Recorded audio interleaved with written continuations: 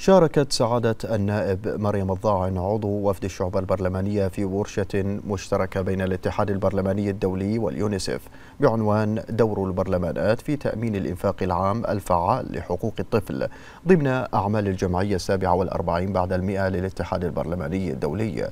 وأكدت الضاعن أن مملكة البحرين تعتبر التعليم حقا أساسيا لكل طفل ويتم توفير التعليم الأساسي المجاني والإلزامي للجميع.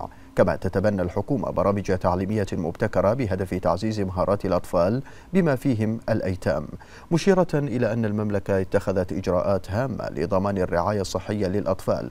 وقالت الضاعن إن مملكة البحرين أقرت قوانين صارمة لمكافحة الاتجار بالأشخاص داعية للعمل على صياغة تشريعات تضمن حماية الأيتام من كافة أشكال العنف المنتشرة في الفضاء الإلكتروني. إلى جانب تعزيز التعاون الدولي وتبادل الخبرات البرلمانية في هذا المجال.